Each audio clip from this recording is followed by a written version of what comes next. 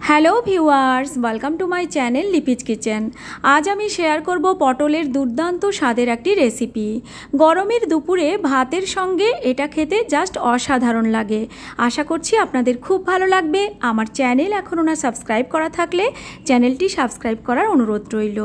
পটল রান্না করে নেওয়ার জন্য ফ্লেম অন করে একটা কড়া বসিয়ে দিয়েছি। এখানে আমি পাঁচশো গ্রাম পটলের খোসা ছাড়িয়ে এভাবে কাট করে রেখেছি। আর পটলগুলো ধুয়ে নিয়েছি। খোসাটাকে কিন্তু আমি একটু রেখে কেটেছি আর পটলটাকে গোটা রাখলেও দুপাশ থেকে ভালো করে কেটে নিয়েছি। এবার কড়া গরম হলে এর মধ্যে দিয়ে দিয়েছি আড়াই টেবিল চামচ সর্ষের তেল। তেল গরম হলে এর মধ্যে দিয়ে দিচ্ছি পরিমাণ মতো লবণ আর সামান্য হলুদের গুঁড়ো। পটলগুলো ছেড়ে দিচ্ছি গরম তেলের মধ্যে। পটলগুলো কিন্তু গোটা রাখলেও দুদিক থেকে কাট লাগিয়ে দিয়েছি। তাতে করে পটলের মধ্যে কিন্তু তেল মশলা ভালো করে ঢুকতে পারবে। এবার কিন্তু আমি ঢাকা দিয়ে পটলটাকে রান্না করে নেব।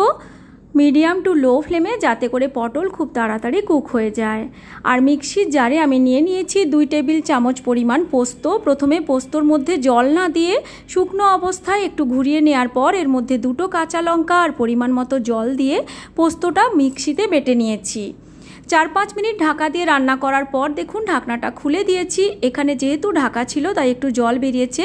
জলটা শুকিয়ে যাওয়া পর্যন্ত আর পটলগুলো বেশ সুন্দর লাল লাল হয়ে যাওয়া পর্যন্ত পটলকে কষিয়ে আমি নামিয়ে নিয়েছি। কড়াইয়ের মধ্যে আর এক টেবিল চামচ সর্ষের তেল অ্যাড করেছি। এখানে কালো জিরে ফোড়ন দিয়ে দিয়ে দিয়েছি একটা বড় সাইজের পেঁয়াজ কুচিয়ে। পেঁয়াজটাকে এভাবে ভালো করে লাল লাল করে ভেজে নেব।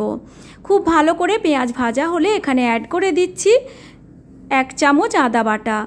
আদা দেওয়ার পর দু এক মিনিট নাড়াচাড়া করে নিচ্ছি। এবার এর মধ্যে দিয়ে দিচ্ছি সামান্য পরিমাণে লাল লঙ্কার গুঁড়ো। আর রঙটা যাতে ভালো হয়, তার জন্য দিয়ে দিচ্ছি হাফ টিস্পুন কাশ্মীরি লাল লঙ্কার গুঁড়ো। দিয়ে দিয়েছি সামান্য পরিমাণে হলুদের গুঁড়ো।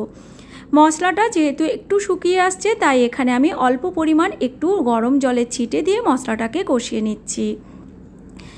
পোস্ত বাটার সময় কাঁচা লঙ্কা দিয়েছি, তাই আমি লাল লঙ্কার গুঁড়ো একটু কম দিয়েছি। এখানে এবার আমি অ্যাড করে দিচ্ছি বেটে রাখা পোস্ত। পোস্তটা অ্যাড করার পর কিন্তু মিডিয়াম টু লো ফ্লেমে ভালো করে কষিয়ে নিতে হবে।